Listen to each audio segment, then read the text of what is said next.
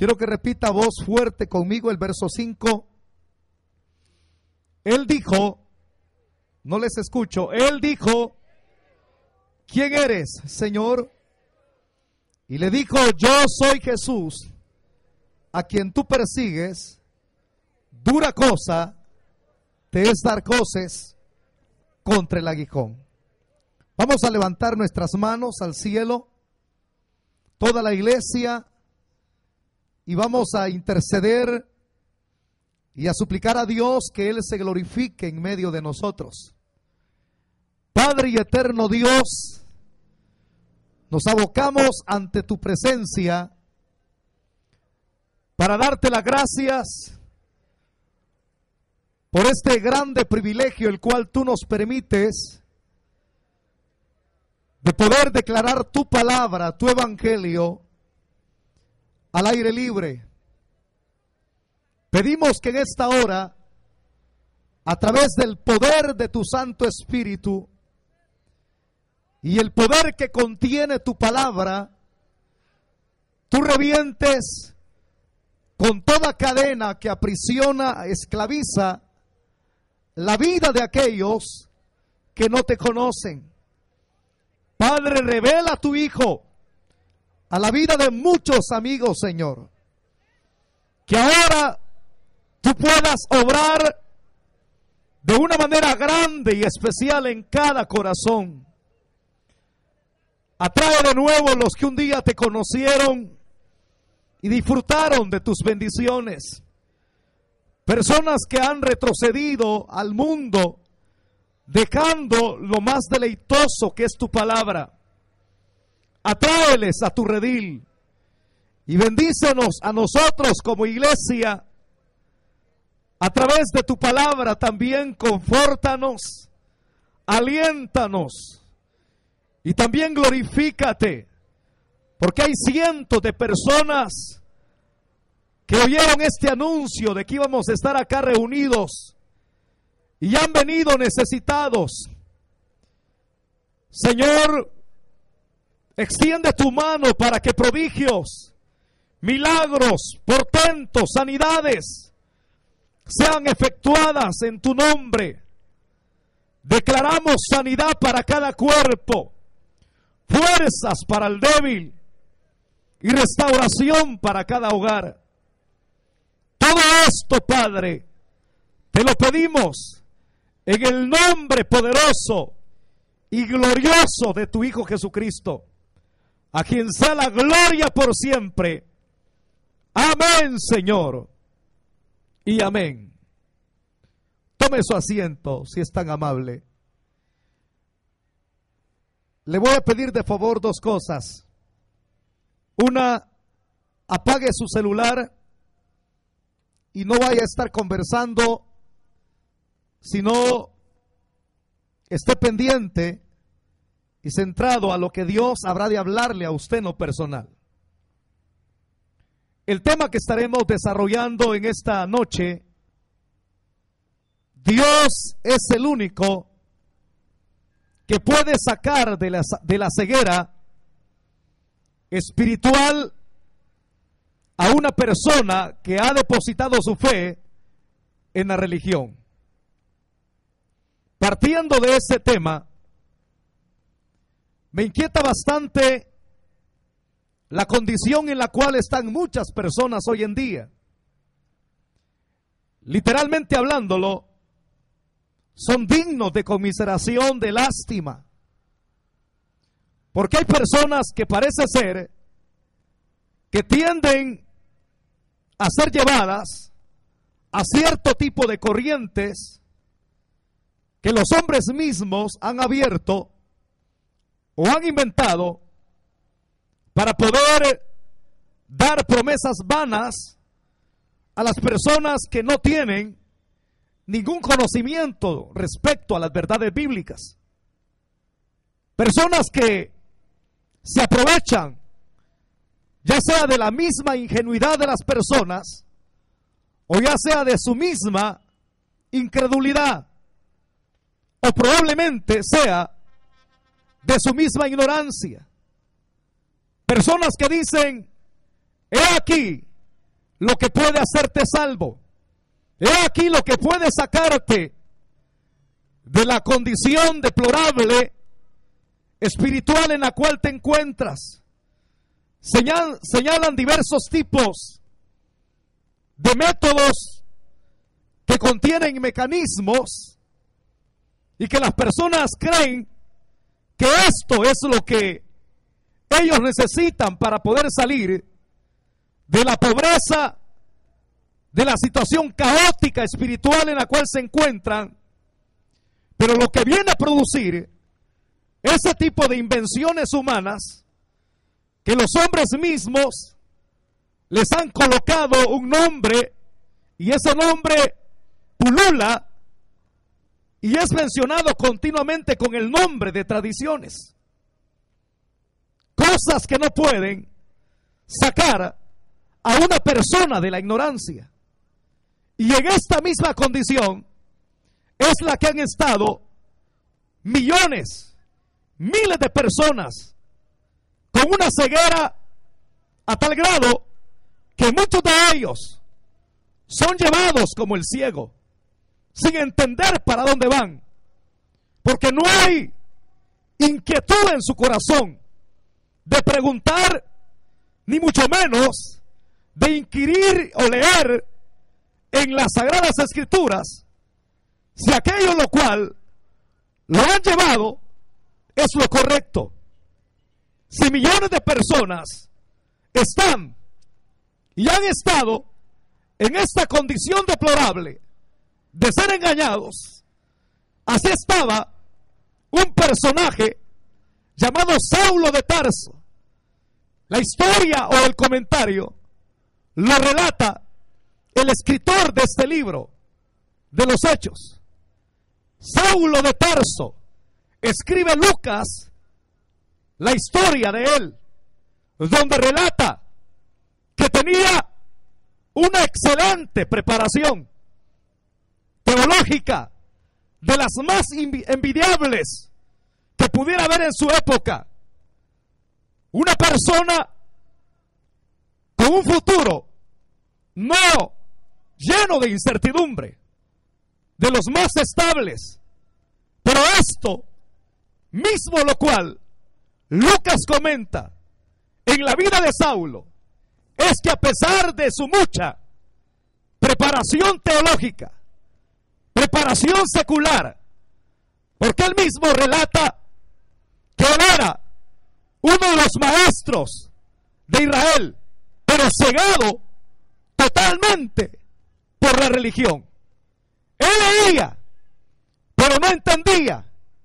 Él oía hablar de Dios en lo que las mismas escrituras narraban.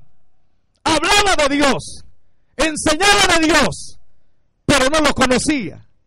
Así es como está la condición del hombre hoy en día. Hablan de Dios, hablan de Dios, explican de Dios, pero no lo conocen. Así estaba Saulo de Tarso. Y lo tremendo de esto, que de tanto conocimiento que tenía de Dios, que había pasado por alto las profecías bíblicas que hablaban acerca de su primera venida. Parece ser que su condición era la de millones de judíos. Como dice la palabra, aún siendo parte de Israel, Cristo vino.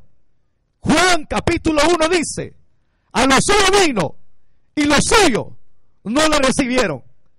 Y todo esto ocurre por la misma ceguera espiritual en la cual se encontraban millones de judíos en su época. Y de igual manera, en el presente, al aplicar esta misma explicación, hay personas que hablan de Dios, lloran, lloran, derraman lágrimas cuando hablan de Dios, mas sus corazones están lejos de Él porque no le conocen. En esta misma condición entonces, Saulo mismo se encontraba. Conocerlo. Tan difícil, tan dura tan caótica era la situación de ellos que parece ser que para muchos esa condición no tenía remedio. Por una cosa digo, que lo que es imposible para el hombre de hacer, lo que es imposible para la misma religión, sacar a un ciego que está dentro de ella, para Dios no hay nada imposible. Para Dios todo es posible. Para Dios todo es posible. Para Dios todo es posible. Para Dios todo es posible. Para Dios todo es posible.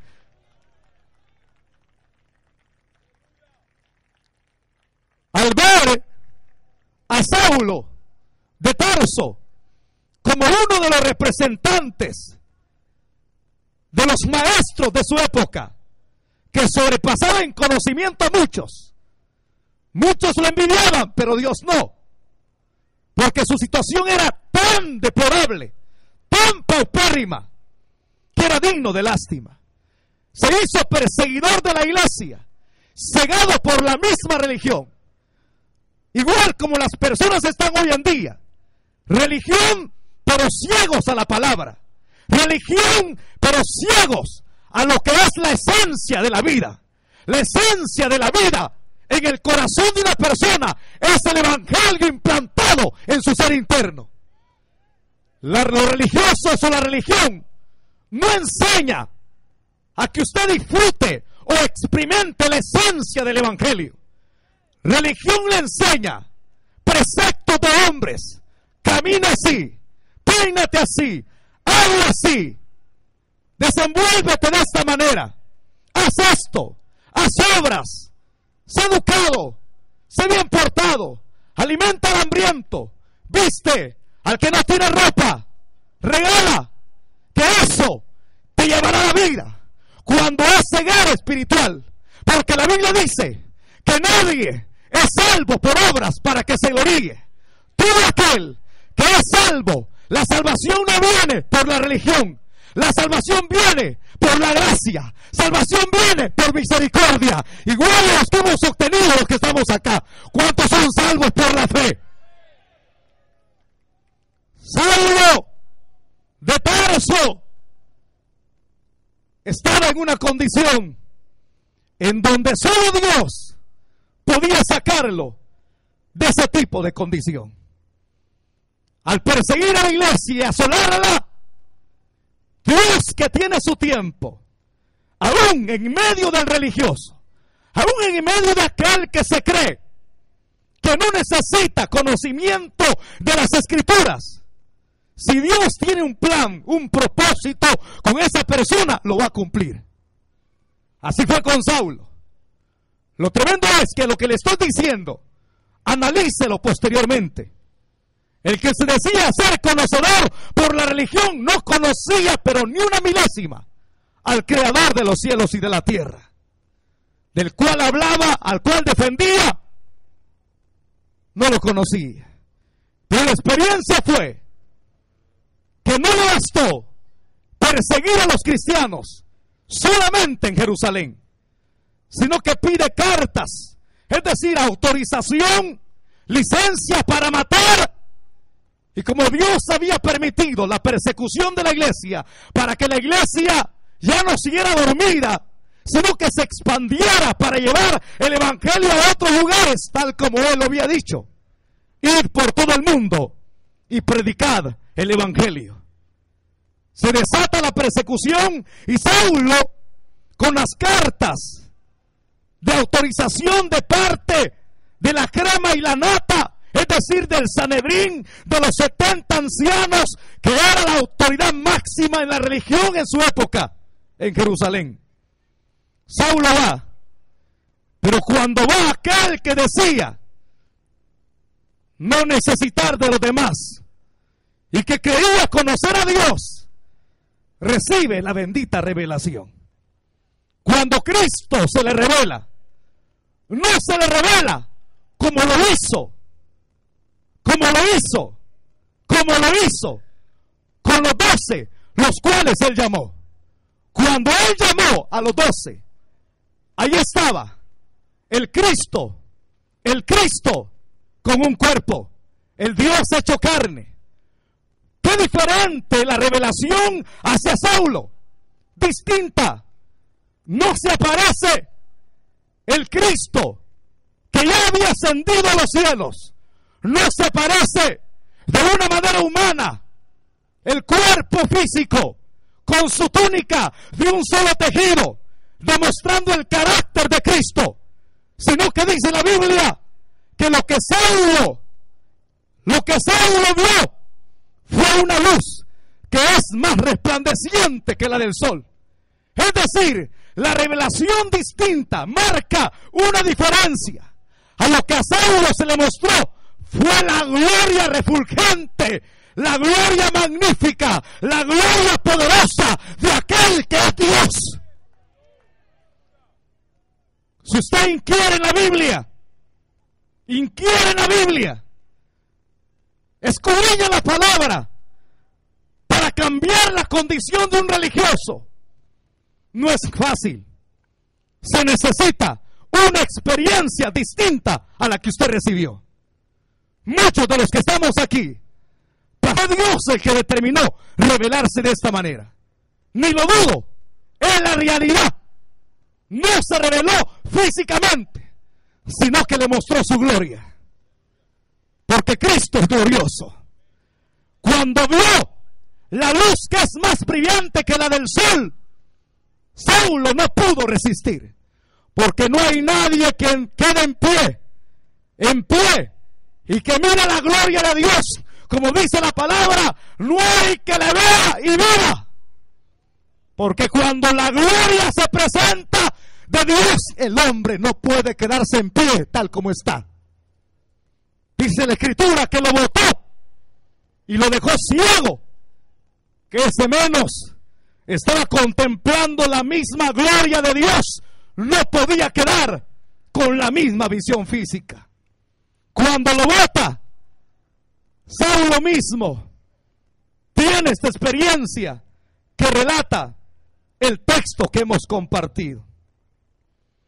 Cuando el Señor mismo se le aparece, oyó una voz que le decía, Saulo, Saulo, ¿por qué me persigues? La luz fuerte hablaba, pero no era un cuerpo el que vio, una luz gloriosa, porque Él es el sol de justicia, Jesucristo. Le habló, ¿por qué me persigues? ¿Por qué? La misma religión lo había vuelto insensible como muchas personas.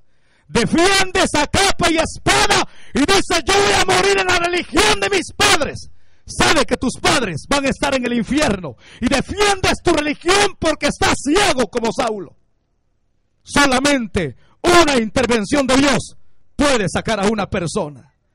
Cuando él oyó la voz, él dijo, como en forma de pregunta, ¿quién eres? Jesús le respondió porque él está vivo.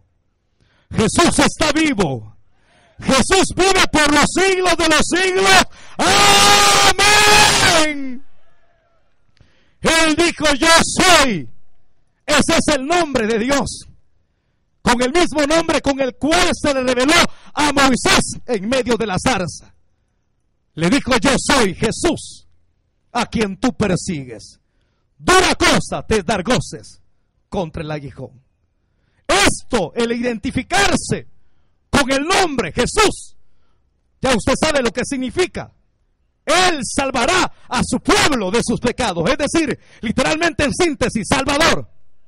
Lo que le está diciendo, yo soy tu Salvador.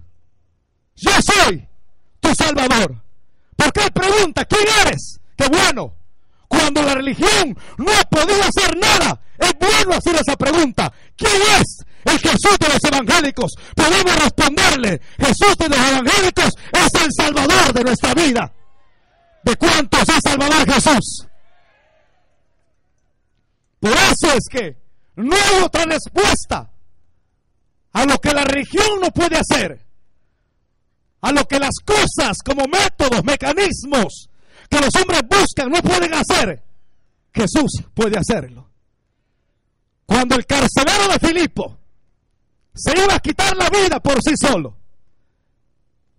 no le dijo, detente, yo te puedo dar un consejito, hombre, para que no te mates. No, sino que el hombre mismo, al oír la voz de Saulo, de Pablo, le dijo, ¿qué debo de hacer yo para ser salvo? No le dijo, cree en el Jade Christmas. No le dijo, cree en el mormonismo. No le dijo, cree en los testigos contra Jehová. No le dijo, cree en el catolicismo. No le dijo, cree en, en otras religiones orientales. Sino que le dijo, cree en el Señor Jesucristo. Y serás salvo tú y tu casa. Yo le puedo decir lo mismo para que usted salga, salga del caos de la religión que no ha podido hacer nada por usted. Yo le aconsejo que busque a un Salvador. Ese Salvador es el que está aquí en esta noche. Jesucristo está aquí en esta noche. Jesucristo está aquí en esta noche. Diga amén, amén, amén. ¿Cuántos creen que Él está aquí esta noche? ¿Cuántos creen que Él está aquí esta noche? Por eso es que se le revela. Yo soy el Salvador. Yo no soy una religión más. Yo soy el Salvador a quien tú persigues. Dura cosa te dar cosas contra el hijo Saúl. Has estado tirando trompones en el aire.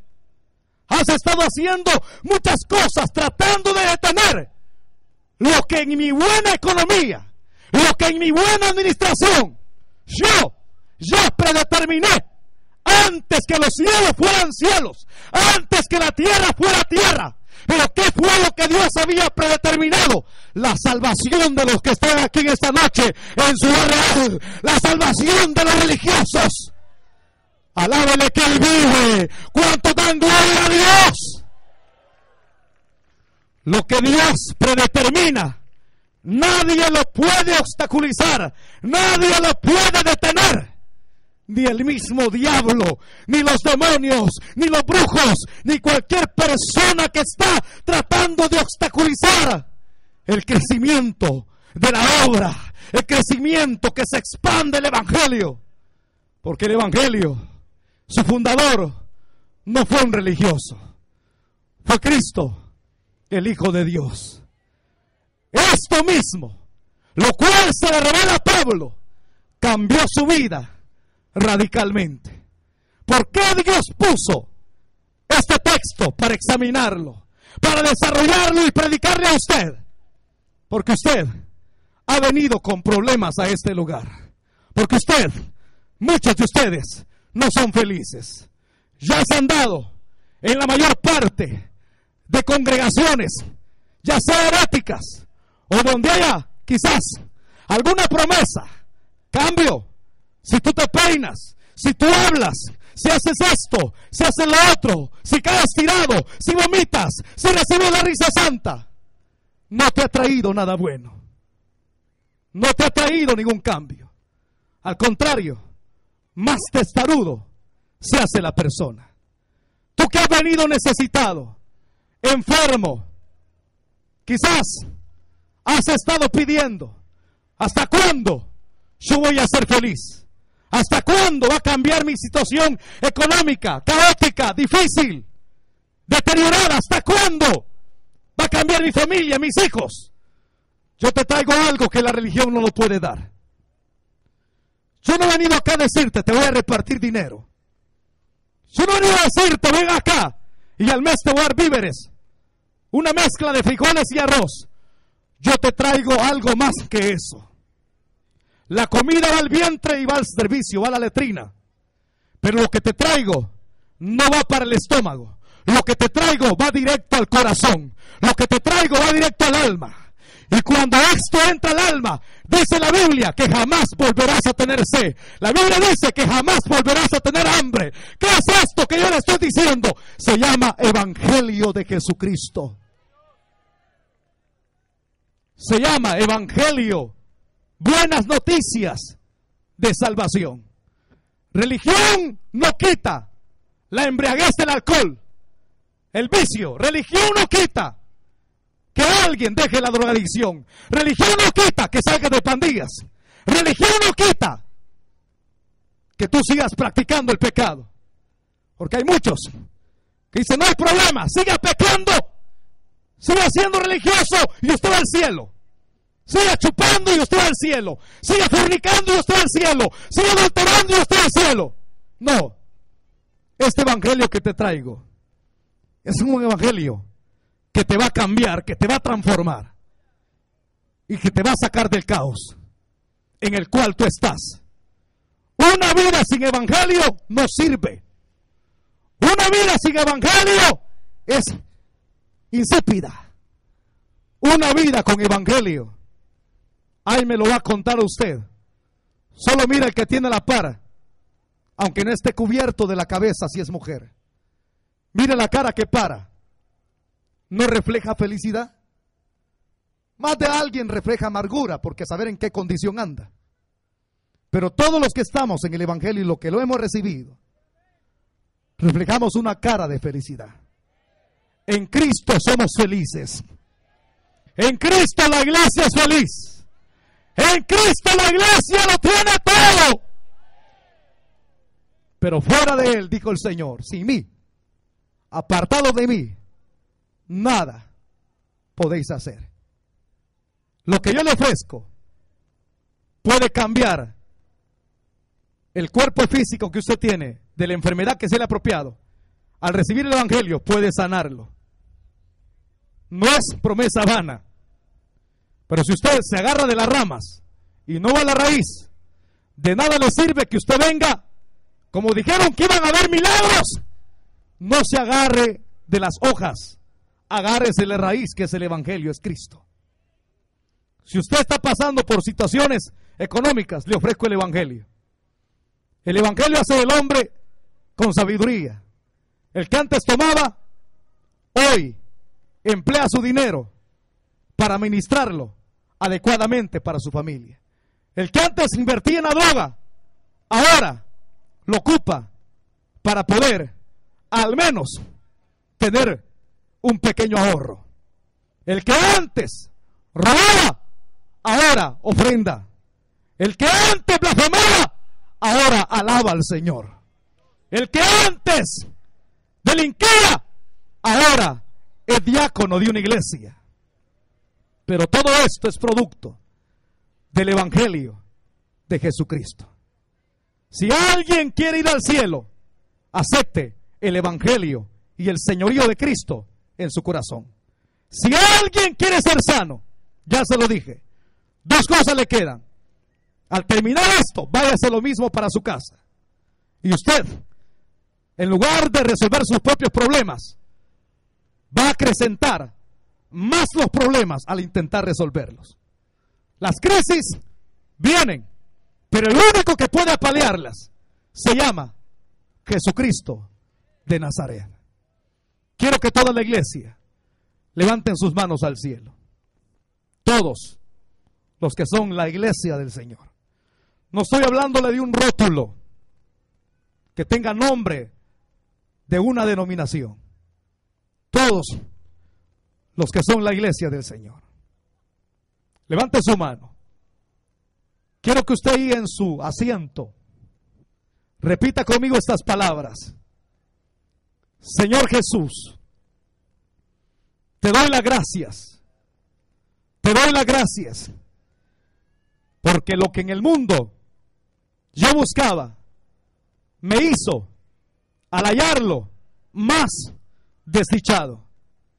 Pero ahora que tú te has revelado mi vida, soy la persona más feliz de este planeta. Sé en quién he creído y para dónde voy. Sé que mi fe no es vana, sino que real, porque creo en un Dios vivo, que es poderoso para salvar, para sanar, para restaurar, para cambiar todo en lo que el ser humano necesita. Revienta cadenas en esta noche, Señor. En el nombre de Jesús. Amén Y amén. Bajen sus manos. Los cristianos cierren sus ojos. Levanten la mano los amigos. Quiero ver las manos levantadas de los amigos. Todas las personas que son amigos, levanten la mano. Ahora quiero hacer una oración con usted. Todas las personas que son amigas y amigos, levántenme su mano. Si es que hay en medio de nosotros. Sé que hay muchos que sienten vergüenza del qué dirán. ¿Por qué estás ahí? Le van a decir. ¿Por qué te has mezclado con los evangélicos? Usted no ha venido a mezclarse con los evangélicos. Usted ha venido a mezclarse con el Dios vivo que va a hacer un milagro en usted. Levanten su mano los amigos. Solamente los que son amigos. Las personas que son amigos, no importa su edad. Quiero que me levante su mano. Que no le dé vergüenza. Levánteme su mano muy en alto. Quiero darle. Así es. Todas las personas que son amigos, cada diácono póngase de pie ahí donde está. Mire esas personas que han levantado su mano. Sigan levantándola, por favor. Yo quiero orar por usted. Voy a hacer una oración por los amigos. Mantengan su mano en alto. Las personas que son amigos. ¿Quieres salir de la religión que no te está llevando a nada bueno, sino a una ceguera que te va a llevar al infierno mismo? No te saca del caos. Tú vives en un lugar donde hay cuadros, hay imágenes, pero ese lugar está lleno de borrachos, está lleno de orgías, está lleno de pasatiempos, diviertes, que no traen más que pérdida de tiempo, destrucción de vidas a los hogares. Cristo puede sacarte de ese lugar. Cristo puede cambiar tu hogar completamente. Los que están levantando la mano y estás caído en el Evangelio y necesitas reconciliarte, levántame tu mano. Haz conmigo esta oración. Los que están levantando su mano, ya sea que la tengas abajo o arriba, si eres amigo, y quieres aceptar el señorío de Cristo en tu corazón, abre tus labios, repite conmigo esta oración. Padre, me arrepiento de mis pecados, me arrepiento de mis pecados. Creo Hijo Jesucristo es el único que puede sacarme de la condición deplorable en la cual estoy creo que Él es Dios y le recibo como el Señor de mi vida, como mi Salvador personal. Creo que Él murió por mí en la cruz y creo que la sangre, la cual virtió de su cuerpo en el madero, me limpia de todo pecado. Y creo que Él resucitó entre los muertos al tercer día. Por eso, Padre, te doy las gracias por el don de la vida eterna que me das en tu Hijo Jesucristo. Amén. Cierren sus ojos la iglesia. Por uno que Dios salve, está en su propósito. Las personas que tenían su mano levantada o ya sea que la bajaste por vergüenza cuando los diáconos se pararon. A mí lo que me concierne es que la palabra haya calado en tu corazón. Lo demás no me interesa.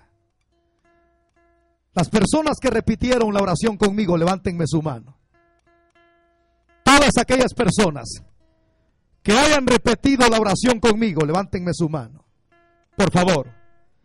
Yo no puedo ver acá si usted no mira que está cerquita, no es mi problema. Levántenme la mano y pónganse de pie. Por favor, las personas que repitieron la oración conmigo, tráiganlas para acá adelante. Salgan de sus asientos. Las personas que repitieron la oración conmigo, salgan de sus asientos. No sé qué esperan los diáconos. Traigan esas personas. Usted dice es que está chiquito. El niño tiene alma. Los niños necesitan. Cristo dijo, porque de ellos es el reino. Dejad que vengan a mí. ¿Por qué se los impide? Dios bendiga a este niño. Es un alma. Levanten la mano las personas que repitieron la oración conmigo. Levántenme la mano las personas hicieron la oración del penitente conmigo. Levántenme su mano. Allá en medio, no miren para acá, hermanos diáconos, miren su grupo. Centre su mirada en el grupo, no acá. Allí en lo que le han delegado. Dios le bendiga. Dios le bendiga a la hermana que reconcilia. Levántenme la mano. Las personas que repitieron la oración conmigo. Aquí no es adelante donde se le rinde su vida a Cristo. Es ahí en el asiento. Ahí es donde la palabra ya produjo efecto. Si no, no hay almas aquí adelante. Levante la mano las personas que repitieron la oración conmigo. Está bien, usted no hizo la oración, pero le mando en el nombre de Cristo, en el nombre de Cristo, se arrepienta de sus pecados. Vuélvase a Dios. No le queda otra alternativa. Si usted será lo mismo, que le aproveche. Siga practicando religión y un día va a comenzar a llorar. Porque este mensaje, el cual ha escuchado, es el que marcó la diferencia en donde usted un día en la eternidad va a estar, si en un lugar de gloria o en el mismo infierno. La Biblia dice que el que siembra para la carne segará corrupción. El que siembra para el espíritu sega vida eterna. Póngase de pie. Rápido, corran diáconos. Ahí está la gente poniéndose de pie y nadie se mueve. ¡Qué barbaridad! ¿Habrá alguien más? Yo no sé. ¿Será alguien más todavía? Los que no levantaron la mano ni repitieron la oración. Voy a pedir que los amigos se pongan de pie. Aquellos que le van a rendir su vida a Cristo por primera vez, pónganse de pie. Ya hay una cantidad de almas acá adelante. Usted que es viejo, se ha vuelto hacia acá su mirada y está como un protagonista más diciendo, ¡ay, pero qué chiquitos! ¡Qué tremendo! Solamente tómalo como modelo. Que usted estando viejo, siendo un adulto, le cierra las puertas de su corazón a Cristo. Hoy la salvación ha venido a Ciudad Real. Pónganse de pie. Los que le van a rendir su vida a Cristo por primera vez. Pónganse de pie. Las personas que necesitan reconciliarse con Dios. Si usted estuvo en el Evangelio y desechó la gracia de Dios, la aventó al cesto de la basura, hoy que está en vida todavía, tiene oportunidad de volverse a Dios. Pónganse de pie los que necesitan reconciliarse. Rápido, tengo cuatro minutos. El tiempo avanza. Cuatro minutos. Si hay alguien que necesite reconciliarse con el Señor, póngase de pie. Oraremos por usted. Póngase de pie las personas que necesitan reconciliarse. Rápido, rápido. Tengo tres minutitos. Si hay alguien, ya sea por primera vez o necesita reconciliarse, no se vaya lo mismo para su casa. Salga, pida permiso. Si está en medio está atrás, corra, corra para acá adelante. Emerja de atrás. El Señor le está llamando. Señora, que le colocaron el nombre de María, Zulma, a usted que le pusieron el nombre de Jaime, Raúl, Roberto, Juan, como se llame, salga de su asiento. Señora María, salga. Dios te llama. El Señor tiene un plan grandioso para tu vida. Y Él ahora quiere concretizarlo. Solo sal de tu asiento. Dos minutos. Dos minutos tengo nada más.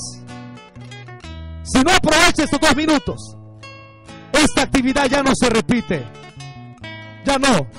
Ya no vuelve. No desaproveche este tiempo. Ahora es el día de salvación. El día de restauración para su vida. Póngase de pie. Las personas que van a aceptar a Cristo por primera vez. Los que necesitan reconciliarse. Pónganse sobre sus pies. Vamos a orar. Vamos a hacer la oración en esta noche. Un minuto. Un minuto nada más. Voy a contar hasta 10 y termino. Yo no puedo llegarle a traer a donde usted está ahorita. Es usted quien tiene que abrir las puertas de su corazón. Voy a contar hasta 10 y termino. Cuando vaya contando, hermanos diáconos, no hagan la sección de personas. Diríjanse únicamente a los amigos. Uno, dos, hagan lo que tienen que hacer en este instante. Tres, el tiempo pasa. El tiempo transcurre. Ven a él. Venga él. Ven a él. Que te espera. No rechace la invitación. Hagan. No se conformen con uno, hermano. Hay muchas personas que son amigos. Búsquenlos. Búsquenlos. No voy a tocarle la, la espalda nada más. Dígale, Cristo te ama. Pasa conmigo. Dios bendiga a la otra mujer. Dios bendiga al otro joven. Dios bendiga a la otra mujer que viene atrás. Dios bendiga al otro caballero que viene atrás también. Siga invitando, hermano. No se conforme. Rompa el círculo que le han delegado. Siga buscando amigos. Dios le bendiga. Sigue invitando. Es la última invitación. Cinco. Cinco. Seis. Dios te bendiga, hijo. Sigue invitando. Ya no tendrá excusa. El día en el cual usted se presente delante del gran trono blanco, no va a decir, jamás oí palabra, jamás me advirtieron. Aquí te, se te ha dicho la verdad. Aquí se te ha dicho la verdad. Dios te bendiga también a ti. Faltan más personas. Por favor, no rechace la invitación. Estás atado a la droga, al alcohol. Das lástima. Qué desgracia la que has caído. Has perdido la dignidad. No te da vergüenza que para poder subsistir tienes que robar. ¡Qué bárbaro! Dios dejó el trabajo. Es que no hay trabajo, pastor. ¿Cómo no? Hay un Dios que provee. Hay un Dios que restaura. Hay un Dios que abre puertas. Hay un Dios que te puede devolver la dignidad. ¿Quién más? Busquen los amigos. ¿Quién más? ¿Quién más? Siete. Ocho. Voy a terminar ya. ¿Quién más? ¿Quién más? Sale de su asiento. No te vayas lo mismo para tu casa. Recibe a Cristo. Recíbelo. El tiempo es corto. El tiempo es corto. Es breve. Tu vida es como la hierba. Tu vida es como la neblina. Hoy estás, mañana no estarás. Tú que dices que eres evangélico, Dios bendiga a esta otra mujer. Pero has pecado contra Dios. Estás caído, reconcíliate, levántate. Ocho, voy a terminar ya. Los que van a reconciliarse, ya no sigas ocultando tu pecado. Vuélvete a Dios. Mira cómo estás, enfermo, quebrado. Algo está ocurriendo ahí. Algo está ocurriendo ahí. Ponte cuentas con Dios. Ya una buena multitud de personas aquí adelante. Son almas eternas. Por uno, hace unos minutos atrás, comenzó la fiesta en el cielo. ¿Quién más? ¿Quién más? ¿Quién más va a venir a Cristo? Nueve, Voy a terminar ya. ¿Quién más? ¿Quién más? Si hay una tan, sola persona que no se quiere quedar con el deseo, corra, corra aquí adelante. ¿Quién más? ¿Quién más? Por uno valió la pena hacer esta campaña. Por uno, por uno, en un mes tan saturado del consumismo, tan saturado del satanismo, donde los hombres celebran festividades paganas. Vale la pena ver almas convertidas a Cristo. Dios le bendiga. ¿Quién más? Nueve. Voy a terminar ya. ¿Quién más? ¿Quién más viene a Cristo en esta noche? ¿Quién más? Quizás usted está posponiendo. Tal vez si llega el domingo lo voy a hacer. Pero otro año es probable que ni llegue el 31 de diciembre. Ahora es el día de salvación. Póngase de pie y corra. Si está caído, reconcíliase. ¿Quién más? ¿Quién más? ¿Quién más no va a rechazar esta invitación? La salvación es gratuita. Y los hombres la ven sin ningún sentido, sin ningún valor. Cuán duro es el ser humano. Solamente el poder de Dios puede quebrar tu corazón duro. ¿Quién más? Nueve. Nueve. ¿Quién más? ¿Quién más? ¿Quién más? Dios bendiga a aquella mujer que viene atrás. Póngase de pie toda la iglesia. Vamos a esperar esta última alma que venga. Dios te bendiga. Toda la iglesia puesta de pie. Levanten sus manos. El tiempo avanzado. Yo ya salgo de mi responsabilidad. Predicar el Evangelio. El que salva se llama Jesucristo y no los pastores. Toda la iglesia dije levantando sus manos. ¿Qué le ha pasado, iglesia? Tienes las manos con artritis. Levante sus manos. Diga, Señor, quiebra, quiebra con toda obra del diablo. Quiebra con toda insensibilidad por el poder de la palabra. Ahora, sal de tu asiento. No vayas huyendo del Señor.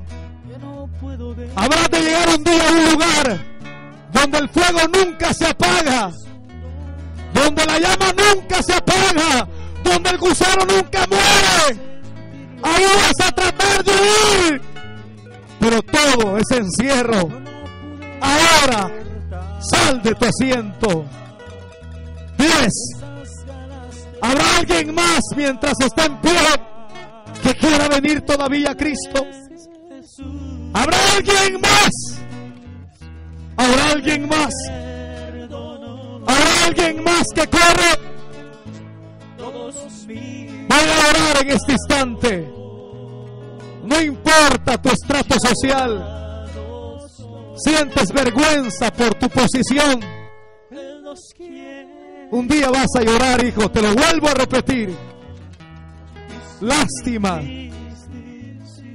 Porque ahora en vida es cuando puedes definir tu condición y tu posición en la eternidad. Vamos a orar. Levantemos nuestras manos. Levantemos nuestras manitas al cielo. Levante sus manos. Cuando yo vaya orando, amigo y amiga que se ha quedado en su asiento, tiene la última oportunidad. De nada sirve decir, qué bonita palabra, sentí, creo que Dios me habló a mí. No, de nada sirve. Es ahora cuando Dios te invita, cuando tú debes de concretizar lo que el Señor ha propuesto en su propósito que tú hagas. Levantemos nuestras manos, Padre y eterno Dios que estás en el cielo.